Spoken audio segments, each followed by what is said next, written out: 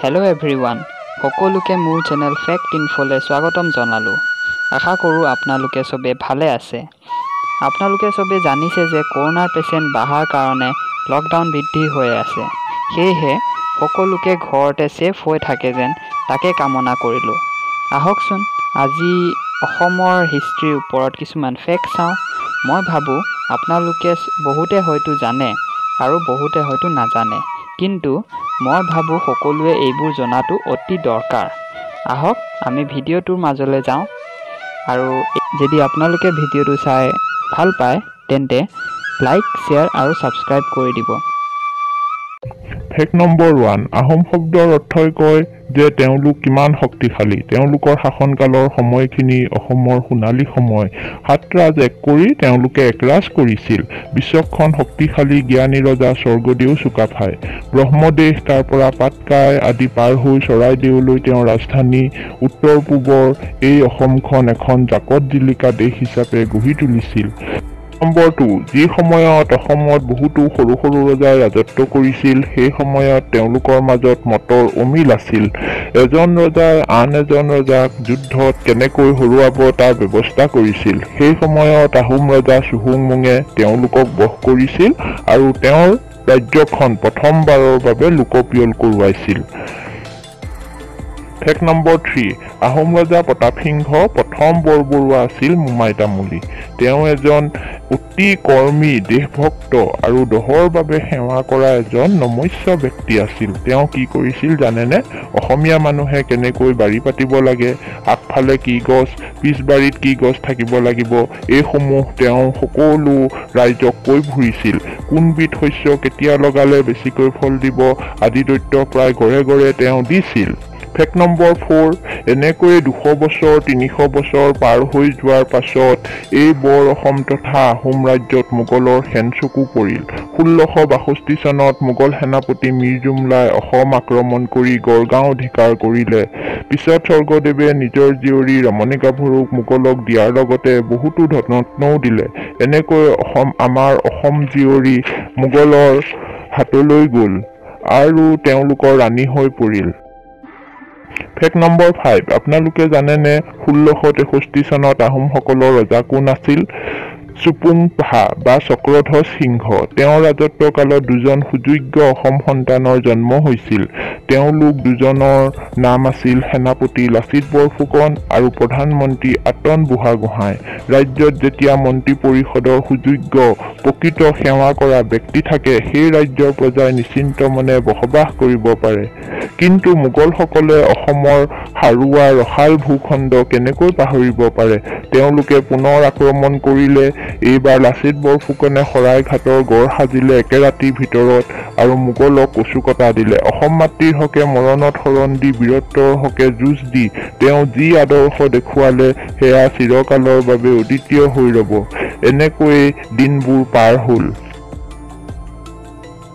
Fact number six. Ahom ৰাজত্বৰ সোণালী দিনত ৰত্নধ্বজ সিংহ ষোল্লশ ঊনাশী চনত ৰজা হয় আৰু তেওঁ অতি কম বয়সৰ হোৱাৰ বাবে তেওঁক ল'ৰা ৰজা বুলিছিল আৰু তেওঁৰ সেনাপতি আছিল লালুকখোলা বৰফুকন।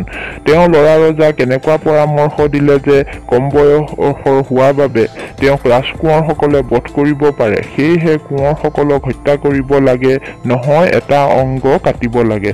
তেওঁৰ কথামতে ৰজাই বহুতো কোঁৱৰক অংগক্ষত কৰোৱালে।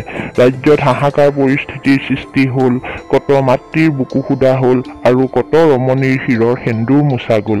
কিন্তু এগৰাকী বীৰ ৰমণী জয়মতীয়ে নিজৰ জীৱন বিপন্ন কৰি তেওঁৰ স্বামীক পলুৱাই পঠিয়াবলৈ সক্ষম হ'ল। আৰু সকলোৱে জানে নিশ্চয় কিমান অত্যাচাৰ সহ্য কৰি জয়মতীয়ে দেশৰ হকে স্বামীৰ হকে প্ৰাণত্যাগ কৰিলে। তেনেকুৱা মাতৃক আমি হাজাৰ হাজাৰ প্ৰণাম কৰিব লাগে নহয় জানো? Fact number seven. কালক্ৰমত অত্যাচাৰী ৰজা আৰু বৰফুকনৰ মৃত্যু হ'ল। পাছত জয়মতীৰ স্বামী গদাপাণি ওৰফে গদাধৰ সিংহ ৰজা হ'ল। অসমৰ পূবৰ মেঘালী আকাশত সূৰুজৰ কিৰণে দেখা দিলে। অসম আকৌ উন্নতিৰ পথত ধাৱমান হ'ল। গদাধৰ সিংহ তেখেতৰ পিছত তেওঁৰ পুত্ৰ ৰুদ্ৰসিংহই ৰংপুৰত ৰাজধানী পাতিলে। জয়সাগৰ পুখুৰী কাৰেংঘৰ নামডাঙৰ শিলৰ সাঁকো খৰিকটীয়া আলি মেটেকাৰ আলি আদি নিৰ্মাণ কৰি সমগ্ৰ অসমলৈ গৌৰৱ কঢ়িয়াই আনিলে। আৰু আমি সকলোৱে গম পাওঁ যে আৰু তেওঁলোকে কিমানখিনি উন্নতি কৰিছিল। তেওঁৰ ভায়েক শিৱসিংহই শিৱসাগৰ পুখুৰী শিৱদৌল ঘাই আলি আদি নিৰ্মাণ কৰি অসমীয়াৰ মুখ উজ্জ্বল কৰি তুলিছিল। Fact number eight. এই আহোম ৰজাসকলৰ এজন অত্যন্ত দুৰ্বল ভীৰু ৰজা কোন আছিল জানেনে? গৌৰীনাথ সিংহ। তেওঁৰ দিনত ৰাজ্যৰ প্ৰজাসকলে দিনতে এন্ধাৰ দেখা পাইছিল আৰু সৈন্যসকলৰ অত্যাচাৰ মন্ত্ৰী ৰঙা চকু ৰাণীৰ শাসন আদিয়ে আহোমৰ শ্ৰীময়ী অৱস্থা ক্ৰমান্বয়ে তললৈ লৈ গৈছিল আৰু তেতিয়াই বদনে আনিছিল মানসেনা। উহ মানসেনাৰ কি অত্যাচাৰ! কেঁচুৱাবোৰ আমৰ দৰে দলিয়াই দিছিল আৰু মানুহবোৰক খোলত দিছিল গাঁও গাঁত খান্দি জীয়াৰী বোৱাৰীসকলক পুতি পুৰি মাৰিছিল মঠ মন্দিৰ ধ্বংস কৰি পেলাইছিল মুঠতে মানৰ আক্ৰমণে অসম তথা আহোমসকল সকলে নিজ হাতেৰে গঢ়া সোণৰ অসম ধ্বংস কৰি পেলালে। একেবাৰে শেষৰ ফেক্টটো ক'বলৈ বিচাৰিছোঁ আৰু তাৰ পিছৰখিনি আপোনালোকে সকলোৱে জানে ওঠৰশ ছাব্বিছ চনৰ ইয়াণ্ডাবু সন্ধি আৰু তাৰপিছত আমাৰ সোণৰ অসম ইংৰাজে লৈ গ'ল আৰু ইংৰাজৰ লৈ যোৱাৰ পিছৰ সময়খিনি আপোনালোকেতো সকলোৱে জানেই নিশ্চয় নহয় জানো?